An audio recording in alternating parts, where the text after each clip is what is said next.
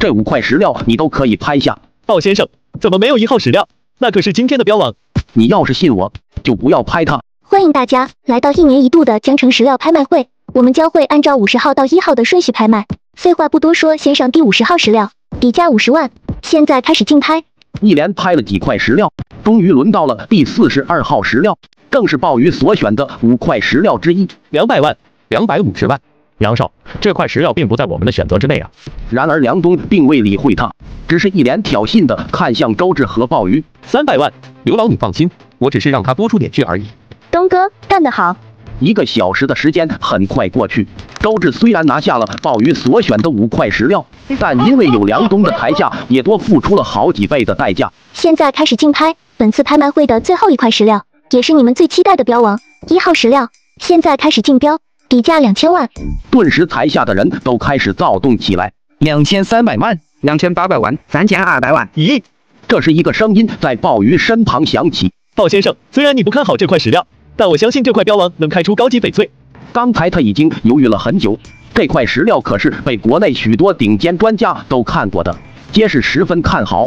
鲍鱼只是笑了笑，没有说话。一亿两千万，一亿五千万，一亿八千万，两亿。周志这块标王，我势在必得。我劝你还是放弃吧，你争不过我的。放弃？我为什么要放弃？不试试又怎么知道争不过你？既然你自取其辱，那我成全你。武艺，周志，你还敢干吗？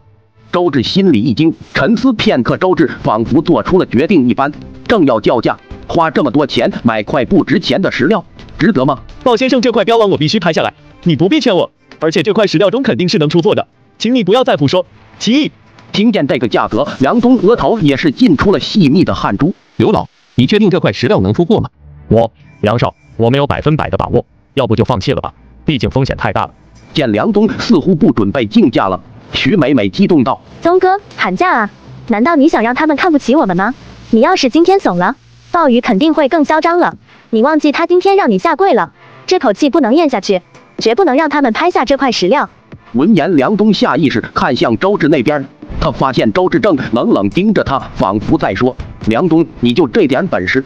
再看鲍鱼，神情自若，面色平静，更是看也没看他一眼。顿时，他心中的怒气猛地升腾了起来。东哥，你想想，他们为什么要跟我们争到底？肯定是鲍鱼断定这块石料能大涨。而现在这块标王，不但鲍鱼看好，其他人都看好，开出的东西能差吗？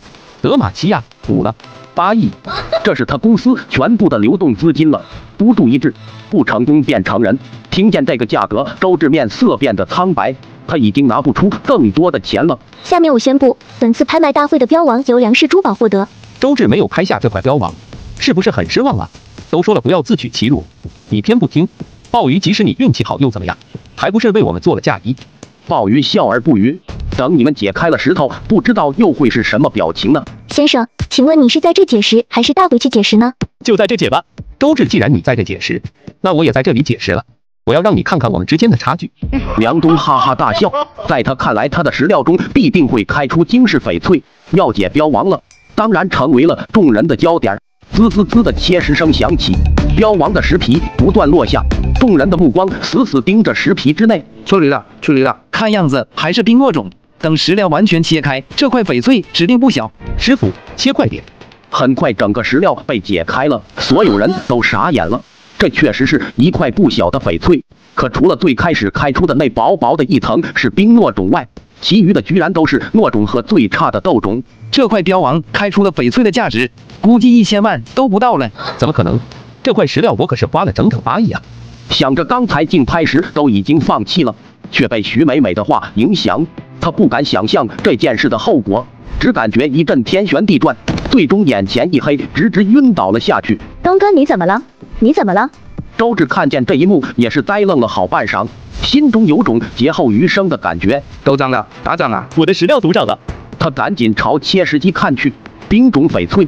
紧接着第二块、第三块，五块开完，居然全都是冰种翡翠。这五块加起来价值上亿，翻了十倍不止。鲍先生，对不起，之前的事情是我一时冲昏头脑了，才没有听从你的建议，辜负你的好意，请你原谅。